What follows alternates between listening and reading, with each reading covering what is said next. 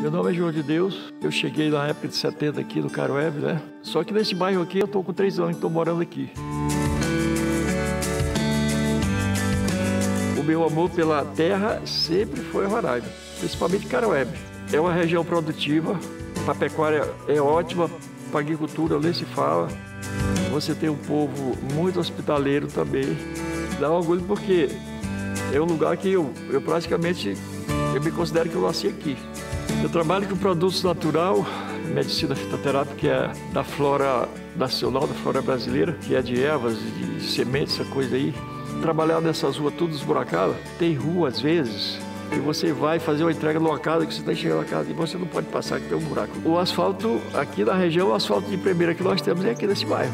Na região é o melhor asfalto que tem. A importância do asfalto, o que, que ela traz? Ela traz bem-estar, segurança e, e comodidade para você ir vir e a tua propriedade. E ela valoriza, né? Porque a pessoa chega aqui e vê o bairro todo asfaltadinho, a rua tudo bonitinha, um bairro bem localizado, bairro alto. Nós não podemos desenvolver região nenhuma se não ser através de política, porque os recursos estão lá em cima, né? E a pessoa que jamais enviou recursos para esses municípios foi o Jucar. Aqui no município mesmo tem, tem duas regiões, essa bairro Bela Vista e o Canaã, que tem asfalto de, de emenda do senador Jucar.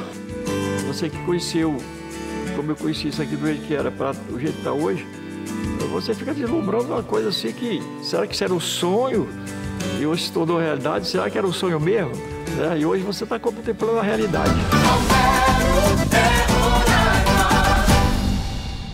Pra fazer acontecer, pra fazer tudo mudar. Romero é forte, ele sabe trabalhar. O Romero é competente, Roraima vai avançar. Aí em Brasília faz a gente se orgulhar.